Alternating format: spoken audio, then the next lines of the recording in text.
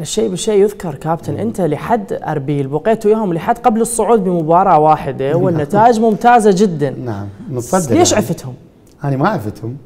كنت متصدر وجاي تصعد إيه، للدوري أنا الممتاز. بصراحة هي راحت يعني.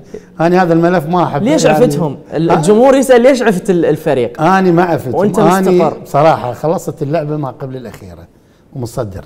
أي. بقت لي لعبة واحدة. كان ابني ده يتزوج. قلت لهم أروح باكر وارجع بنفس اليوم بس أحضر زواج ابني. آها زواج ابنك. إيه. وهو ثاني ف- يوم من المباراة استشفاء طبعا عندك. طبعا طبعا الاخ العزيز أبو فهد اللي تربطني علاقة كلش يعني وثيقة بي قال لي لا تروح. قلت لهم يا اذا تريدون تلغوها؟ الغوها قالوا لا روح. قالوا لك روح؟ اي قالوا لي روح. يعني أنت مجاز. هم حجزوا لي وحجزوا لك إي نعم. وشنو اللي صار؟ ما أعرف والله قرار يمهم. هذا شيء خاص بيهم بصراحه لا يعني أنت من رجعت بعد ما رحت لهم أصلا؟ لا لا ما رحت لهم. ليش؟ لأن طلعوا القرار بإقالتي. أها. نعم. لو ما متزوج ابنك